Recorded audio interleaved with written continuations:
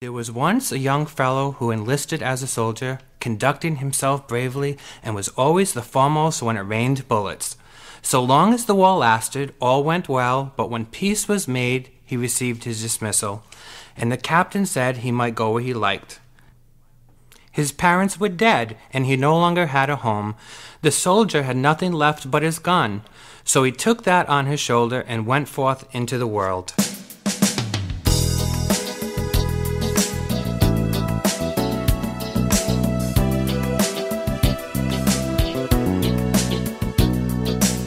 Now that the war is over, what am I gonna do? I have no place to call my own, no one to go home to. I've always been in the fast lane, and that's where I wanna stay. To become a regular Joe, I'll only waste away. So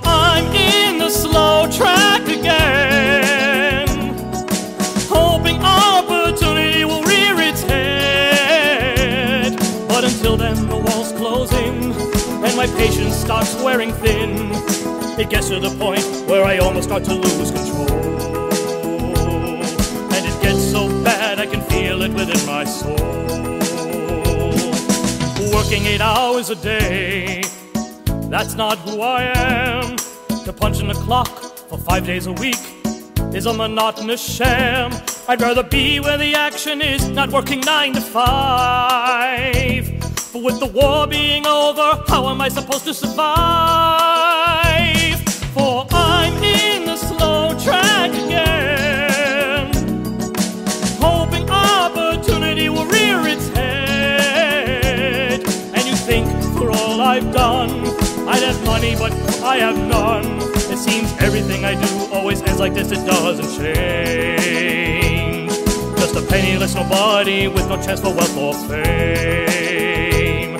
Cause I'm in the slow track again, hoping opportunity will rear its head. I'm starting to lose control, and I'm ready to sell my soul to anyone who helps me get out of this rut I'm in. I need someone to help me get out of this rut I'm in. I need someone to help me get out of this rut I'm in.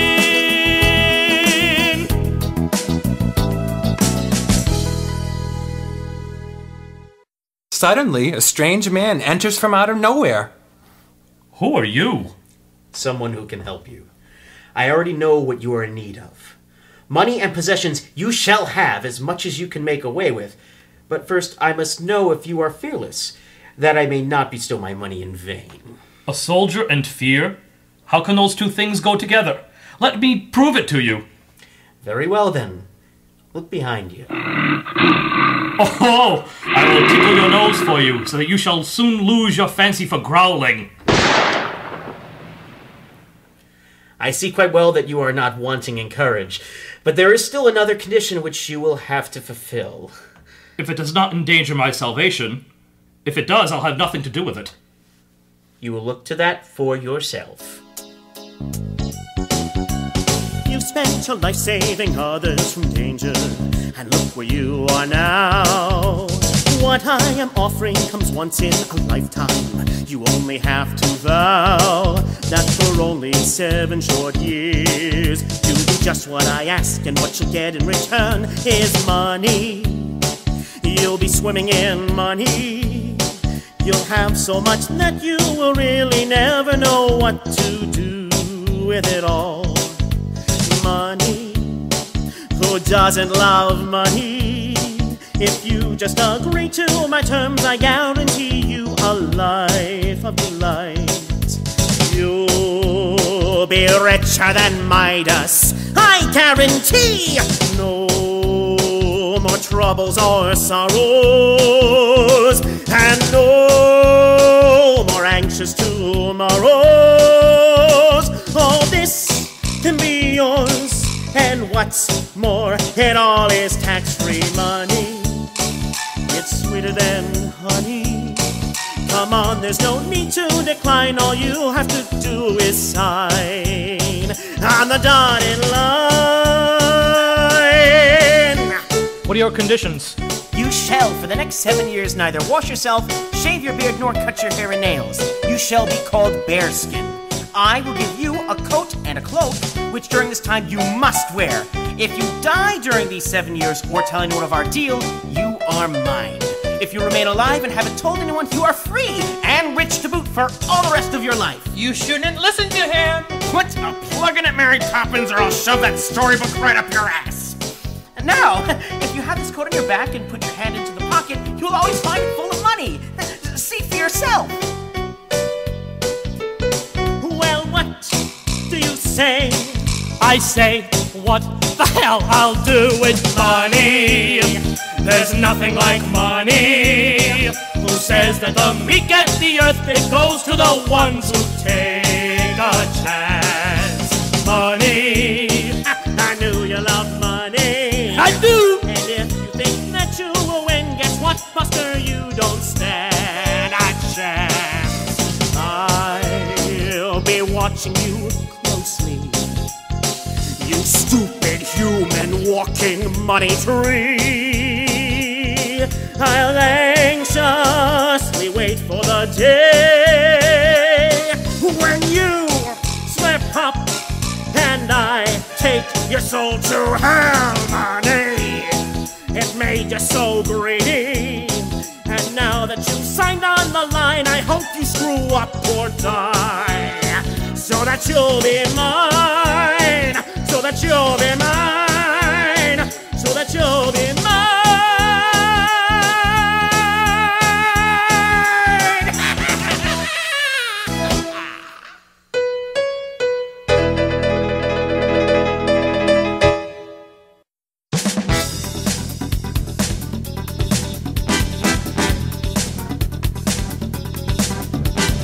Do you know what you've done to yourself?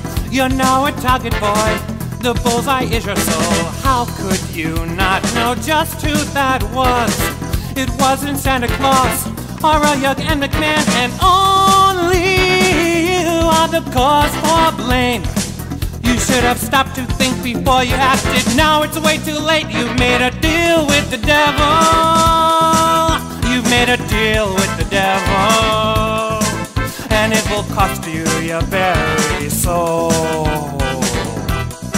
Why don't you do me a favor and shut up? I tried to warn you. Why didn't you listen to me? I don't even know who the hell you are. I'm the narrator. The narrator. Hey, buddy, I'm sorry. I didn't mean it when I told you to shut up. I hope there's no hard feelings. It's alright. I can understand with all this new pressure you have now and all. Good. Now that that's all settled, how about you flip back a couple of those pages and uh, erase that teensy little part where I signed the contract? I'll make it worth your while. Can't do that. Why not? I said I was sorry. It's not that. I'm the narrator, not the author. I can't change what's been written. Then rip the damn page out! You're gonna have to deal with the consequences and figure a way out of this mess. This is your chance to prove to yourself you can do anything if you put your mind to it. There is nothing that you cannot face. Take one step at a time, then you will realize that you now stand at the crossroads of life. There are two roads that you can take. Just one will set you free from your deal with the devil. That lousy deal with the devil. Maybe one day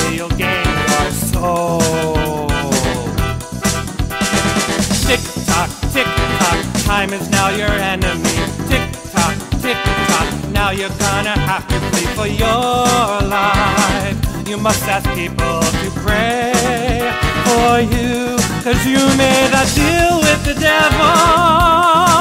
That one sided deal with the devil. And he's waiting for your soul.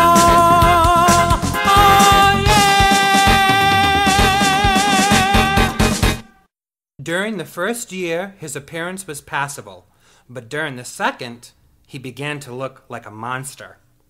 Whosoever saw him ran away. But since everywhere he went, he gave the poor money to pray that he might not die during the seven years. As he paid well for everything, he still always found shelter. In the fourth year, he ended up in Rhode Island. He went to the Holiday Inn in Providence, and the manager would not receive him. But as Bearskin thrust his hand into his pocket, and pulled out a handful of money, the manager let himself be persuaded and gave him a room. Could you have room service bring something up to my room, please? We can't do that, sir. It's almost midnight and the kitchen's been closed since 10. Whoa, I'll have something brought right up to you. How about tonight's special? A meatball grinder and a side salad. A what? A grinder, sir. What the hell is a grinder? It's a sandwich, sir. Usually made with a torpedo roll. Oh, why didn't you say that in the first place? That'll be fine. Grinder. Sheesh.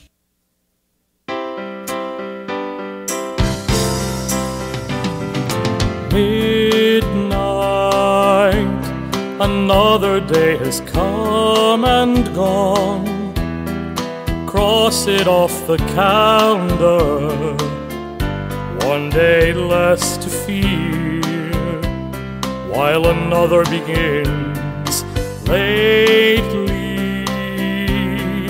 This has been my one routine dreading every hour, every moment of each day, wishing there was a simple way to erase the choice I made. But I know it's not to be. I thought all this would be so easy just a little miscomfort. I wish that I could have seen that not only was this bargain one vast mistake, it has forced me to be all alone. Lonely, that's what I am. Lonely, no one wants to be my friend. They are all afraid I might harm them because of this. They judge me on just what they see. They don't understand. I wish I could tell them why. Life for me is one goodbye. Feels like every day I die. Cause I'm despised by my fellow man. Sometimes when I just cannot take no more, I want to put an end to it all. But I know it's wrong. It would damn my soul. Furthermore, it would only seal the fact that the devil would win, and that just cannot be. For a soldier never fails. This is real, not a fairy tale. So I must keep going on.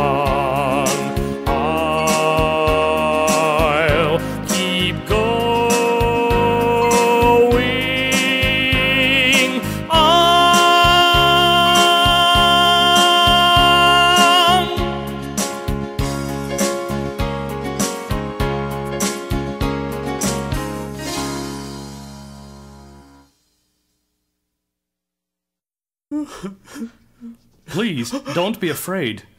I mean you no harm. You're human? You'd never know it to look at me, but yes. They call me Bearskin. Bearskin? Are you in a rock band or something? No. oh, well, in any case, the name's Nathaniel. But you can just call me Nate. Well, Nate, you sounded like you needed help. Is there anything I can do? If only you could. I came all the way out here from D.C. for a job interview, and I didn't get it. I'm sorry to hear it. You're sorry. I don't know what I'm going to do. I needed that job to pay off the 15 credit cards I maxed out trying to support three grown daughters. It's not easy being a single parent these days. I'm going to lose everything. I know it. If that is your only trouble, I have plenty of money. That's kind of you, but there's no way you can afford to pay off all that I owe. How much is it? Hmm, about $45,000. I want you to have this. This should put you back on track for a while. I can't take this. I don't see how you can't. Take it. How can I ever thank you? You don't have to. But you can do something for me. Anything. Please pray that I will live for another three years. Certainly. That's the least I can do. Come with me. What? You're coming with me. Along with my prayers, I'm going to drive you to D.C. and introduce you to my daughters. All of them are miracles of beauty, and you will choose one of them for yourself as a wife. When she hears what you have done for me, she will not refuse you. You do, in truth, look a little strange, but she will soon put you to right again. Ah, I don't know. I wouldn't even know what to say to them, never mind marrying one of them. My career has always come first, and to be honest, I never really had any luck with the opposite sex. Besides, who in their right mind would want me? Trust me, I know my daughters, and never underestimate the power of a woman or of love.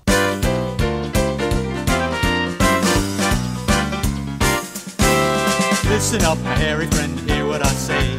A power of a woman can make men go astray. They have been the cause of many wars and strife.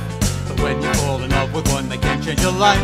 They somehow make a man much better than he was. It's a scientific fact and it's the truth because a woman's capability to fall in love is much greater than a man. Love makes the world go round, it makes you want to sing out loud when you finally find someone to love. Don't be a cynic standing on the sidelines, watching all those around you find love at every corner. Gumption is the key to initiative in the game of love. Playing the shy type doesn't win anyone over. Sometimes in life you have to reach out and grab the ring or it will pass you by. Come feel the joy that can only come from love. Love makes the world go round, and makes you want to sing out loud when you finally find someone to love. Life's not a dress rehearsal, it's a party. And now you have your invitation to come and join the fun. Cause love is a wonderful game. Love makes the world go round and makes you want to sing out loud when you finally found someone to love. Don't be a cynic standing on the sidelines, watching all those around you find love at every corner. Gumption is the key to initiative in the game of love. Playing the shy type doesn't win anyone over. Sometimes in life you have to reach out and grab the ring or it will pass you by. Come feel the joy that can only come from love. Love world go round, it makes you want to sing out loud when you finally found someone to love. Life's not a dress rehearsal, it's a party. And now I have my invitation to come and join in the fun. Cause love is a wonderful game.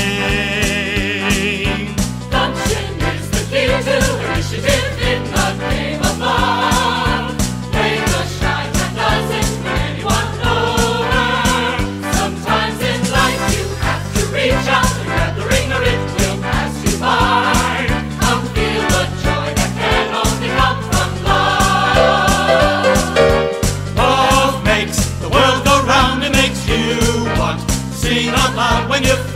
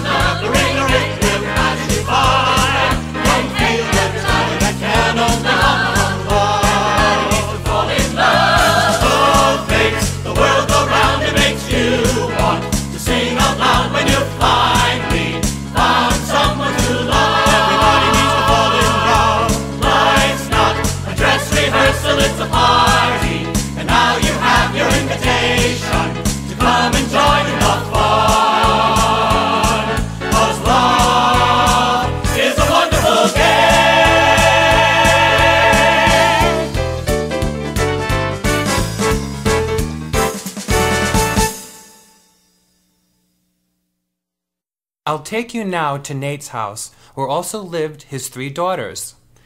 The oldest is Nina. The second one's name is Sherry. The youngest is Anne Marie. Three very beautiful women, but not the happiest people in the world. Yeah, well, you'd be miserable too if you went out with the shit bum I went out with last night. He was such an asshole. What happened? Nothing. Absolutely nothing. That's the last time I date an actor. I've never seen a person so preoccupied with his looks and figure like this guy. Oh, and he made sure that everything he said was pronounced and articulated so correctly in round, pear shaped tones. Oh, it made me sick. Why, it doesn't sound any worse than the date I had. He said he wanted to take me to his apartment and make love all night long. What's wrong with that? Uh, with his boyfriend? Time it's the same old thing, it rarely seems to change. The degree of men we've dated goes from sickening to the strange. All we want is a boyfriend in accord to our tastes.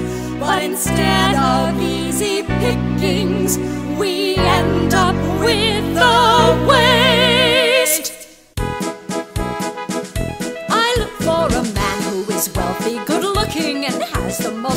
Luscious wavy hair.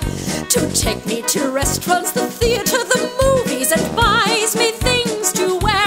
But all that I seem to attract have no money and bald and pursued by the FBI. I'm so sick and tired of it. Why am I always attracting the wrong type of guy? The man that I look for is well built, has muscles, and very equipped underneath. The man who can thrill me, seduce me, and knows what he's doing under the sheets. But I get the scrawny ones who underneath just to see it needs to be magnified. I'm so sick and tired of it. Why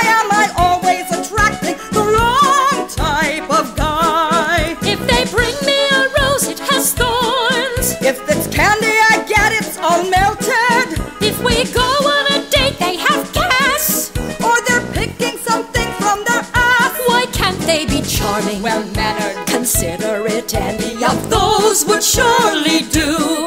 But they're hairy and dumpy and impotent and have a minimal IQ. We don't think we're picky or shallow or limited. But there's one thing we can't deny that when it comes to men, we get the worst of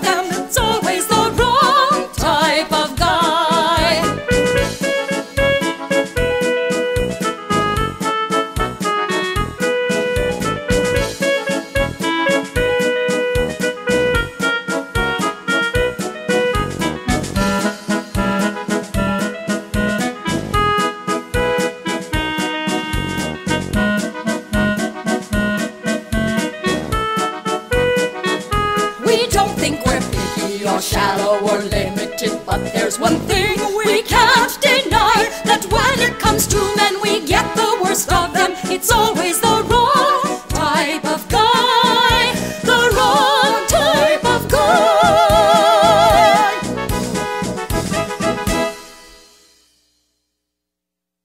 Hey, Anne Marie, you're awfully quiet over there. Don't you have anything to say? Well, I agree you two are pathetic. Really? Well, I don't see a parade of men trampling down your door. That's because I don't think of them as wallets with pants.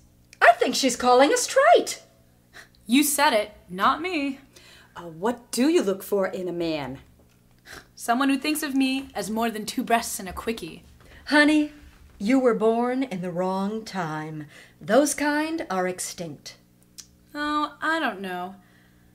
I think the right one's out there, somewhere. Oh, we'll never find a man who knows just how to do the simple things. Some unexpected flowers and a little kiss goodnight, or maybe chocolate candy dates. Today it is so hard to be a girl in love. Or can it be? We'll never find a man who knows just how to do the simple things. To hold my hand or read a poem or open doors for me or serenade a simple song. For me it's ABC courtesy and chivalry and can it be all for me? Or can it be? I'll never find a man who knows just how to do the simple things. A reservation dinner with a little wine rosé or sit by candlelight for two. Today it is so hard to be a girl in love. Or can it be? I will never find a man who knows just how to do the simple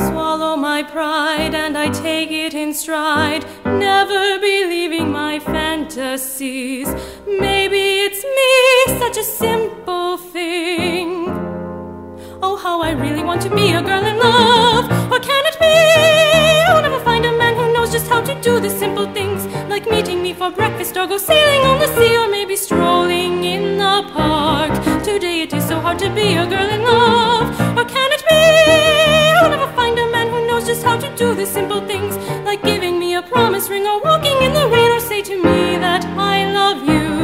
For me it's mystery and fantasy, and so you see, it seems to me that if he's free, I must know. Not me. Oh, I wish I had a guy for me. Is anyone home? Hi, Dad. Hi, Dad. What happened? How did it go? Never mind about that. I have wonderful news. Look at you. You're so excited. I have every right to be. I met this wonderful man who, I can't believe I'm about to say this, gave me the money out of the goodness of his heart to pay off all the credit cards. yeah, right. I'm not lying to you. Look. It's all there. $45,000. You must have gone to a casino and won all this. I swear to you on your mother's grave, I am not lying. Dad, this isn't normal. Nobody gives you this much without expecting something. What did you have to do for this? Nothing. All he asked me to do was to pray for him. What kind of a wacko is he? He's not a wacko. Actually, seeing that he gave us this exuberant amount of money, it was my idea to promise him uh, one of you as his wife. Promised us? Does this look like the Middle Ages to you? But I gave him my word. He's a nice guy. A little eccentric, but you like him. And don't forget, girls, the man is filthy rich. He's waiting right outside. You brought him here? I wanted him to meet you. Please, girls, don't embarrass me. Well, I guess there's no harm in meeting him. Where is this knight in shining armor? I'll go get him. You, come in, now. Holy shit! Don't worry. They live on the ground floor. When you said he was filthy rich, you should have said filthy and rich. He's disgusting. How can I accept a husband who no longer has a human form? I will never, never, never marry this beggar. I don't care how rich he is. Uh, besides, uh, I have crabs. He must be a good man to have helped you out of your trouble, so if you have promised him a bride for doing it, your promise must be kept. My name is Anne Marie. I'm called Bearskin. I have written my name on your half and your name on mine. I beg you to keep your piece carefully. Why? Are you going somewhere? I must still wander about for three years, and if I do not return then, you are free, for I'll be dead. If not, I will return after the three years are over and claim you as my bride. So pray to God to preserve my life. Thank you, Nate. Hopefully, I will see you again. Anne Marie. Poor Anne Marie. From that day forth, she dressed entirely in black, and when she thought of her future bridegroom, tears came to her eyes.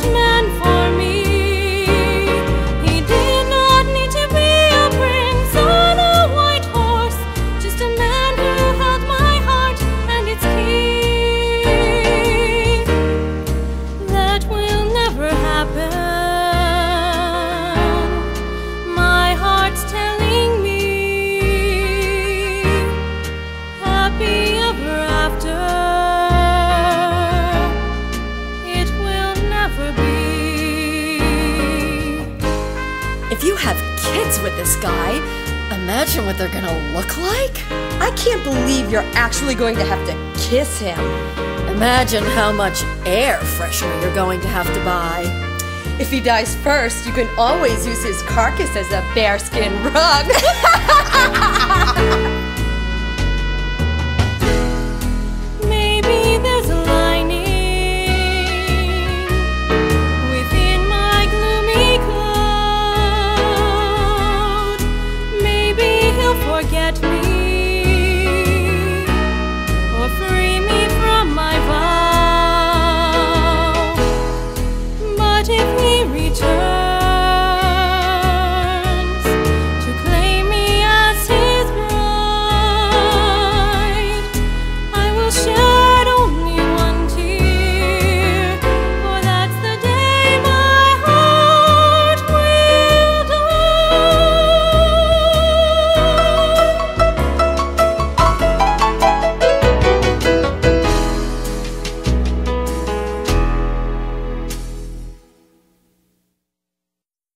Bearskin, however, traveled about the world from one place to another, did good where he was able, and gave generously to the poor, that they might pray for him.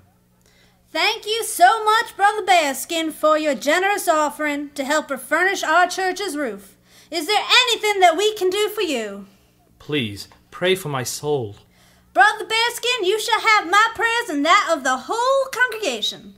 My brothers and sisters in the Lord, our dear Brother Bearskin has graciously given us the necessary funds to fix the roof of this humble church, and he has asked nothing in return but prayers for his mortal soul.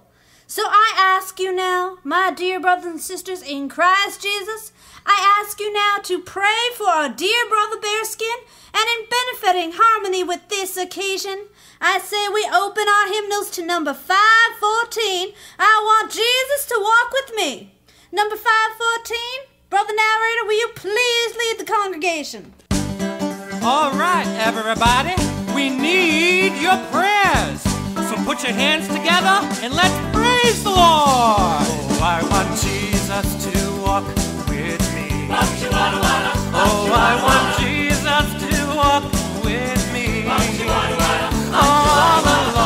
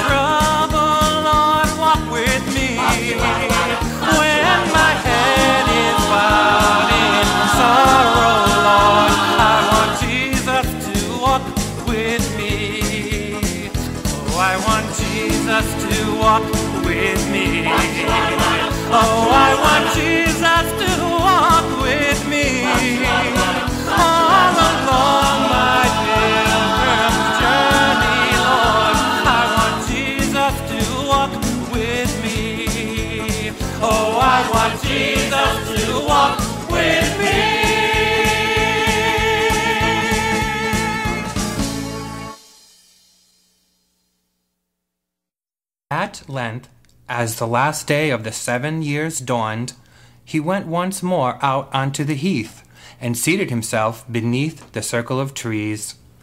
It was not long before the devil stood before him and looked angrily at him. He threw Bearskin his old coat. Here is your coat, you lucky son of a bitch. Now give me my green one back. We have not got so far as that yet. You must first make me clean. Whether the devil liked it or not, he was forced to fetch water and wash Bearskin, comb his hair, and cut his oh, nails. Oh, shut up! Temper, temper. After the devil finished cleaning up Bearskin, he looked like a brave soldier and was much handsomer than he had ever been before.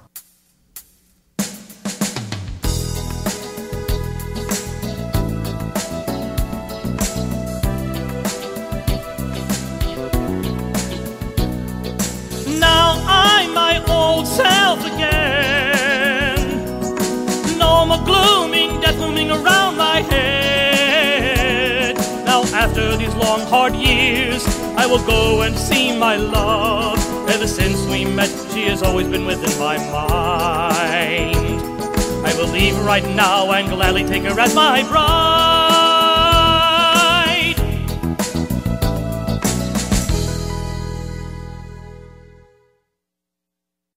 When the devil had gone away, Bearskin went into the town, put on a magnificent coat, and proceeded to his bride's house. Are you the one that people call Nate? Yes, General. What can I do for you? Nate? It's me. Bearskin. Get the hell out of here. I'm too old for bad jokes. Nate, this is no joke. It's me. Holy shit! It is you! What happened to you? You look. Good. I'll explain everything to you later. Is Anne Marie here? She's right inside. Do you want me to get her? Please, but don't tell her who I am. Well, who do we have here? I didn't know we were expecting company. Put those imitation silicone things back in the Cracker Jack box where you found them. I'm just trying to show him what kind of prize he'd be getting. He'd be better off with the tattoos. Can we help you with something? Your father's helping me. Thank you. Can we offer you anything? Something to eat? Something to drink? Sex? Ah, I'm all set. Thank you. You'll have to excuse my sister. She's the reason condoms were invented. Don't you come off like Miss Virtuality. I saw him first. So back off, you skanky bitch! Why should I, you walking mattress?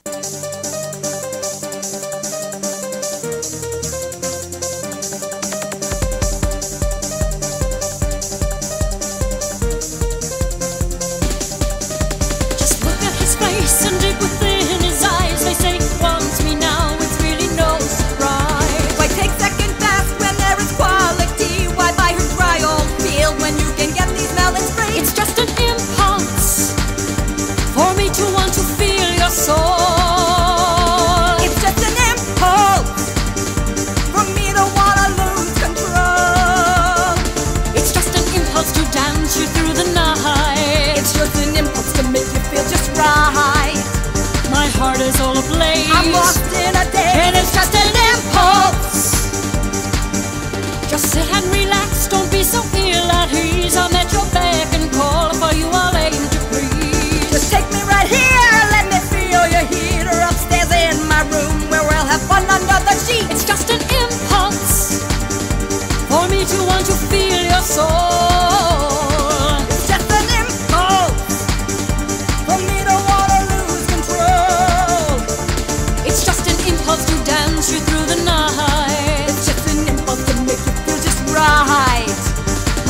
Is all ablaze. I'm lost in a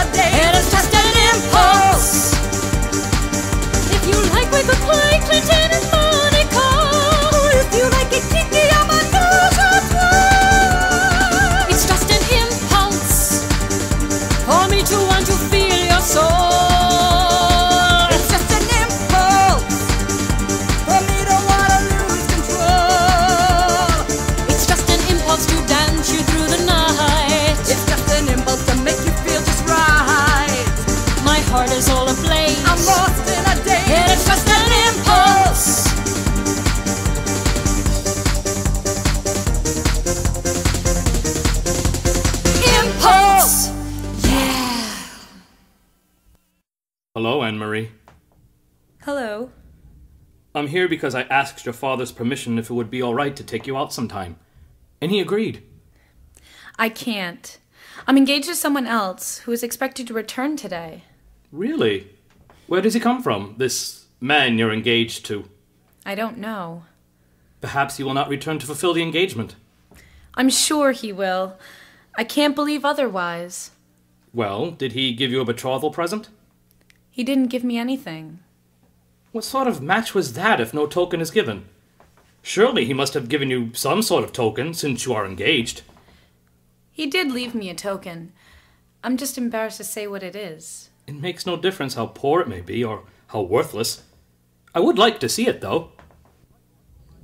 I am your betrothed bridegroom, whom you saw as bearskin, but through God's grace I have again received my human form and have once more become clean.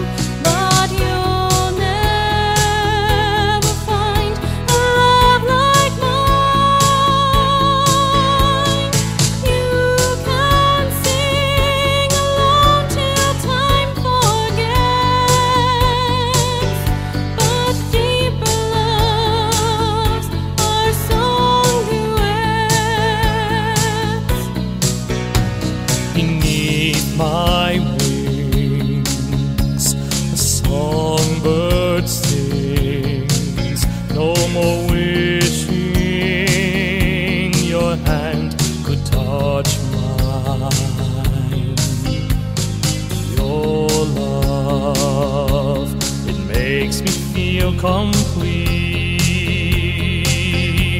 You've captured my heart, your soul's in my mind. Oh, you can search until your love is blind. Our love are songs just set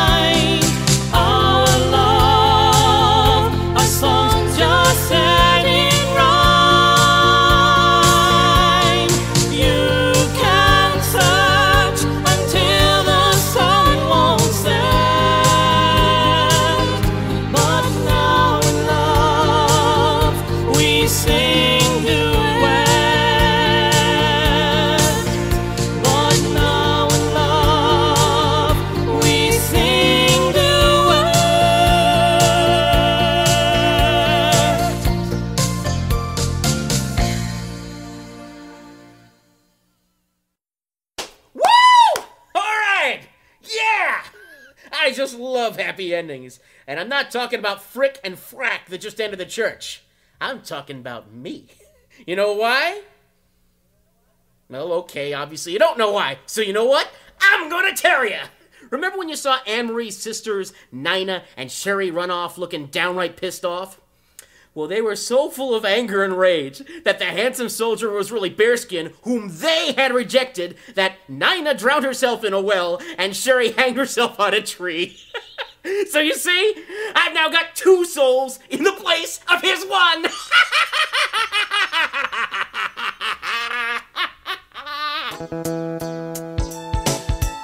Ladies and gentlemen, hear me. For I now will give you advice that you should consider and pass on. Once you make a bargain with me,